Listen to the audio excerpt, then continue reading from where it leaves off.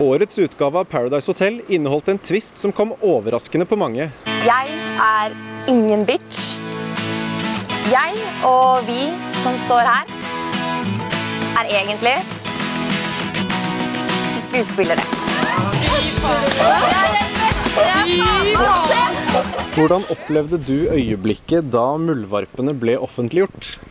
Eh, litt sånn blanda. Jeg merket jo det at det var veldig mye latter, og de syntes jo dette var kjempegøy, og sjokk over at de hadde blitt lurt. Og, men så var det en lite sånn energiskifte der, når de liksom begynte å skjønne at og, og, det er ikke bare de som er fake, det er faktisk brukt, brukt manus.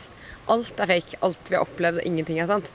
Og da merket jeg at det, det var noen av de som De syns jo det var morsomt, men jeg tror liksom når du får vite at du har gått en uke og ingenting av det du har opplevd er sant, så får du nok et sjokk som på en måte Du vet ikke helt hva du syns.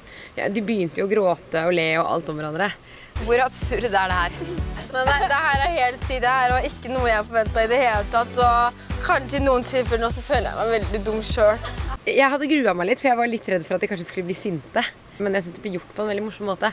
Veldig kult liksom med Så det var jo så mye drama. Alle grein, og det var så fælt, og så plutselig så det, går de ut av karakter. Så det er jo veldig gøy.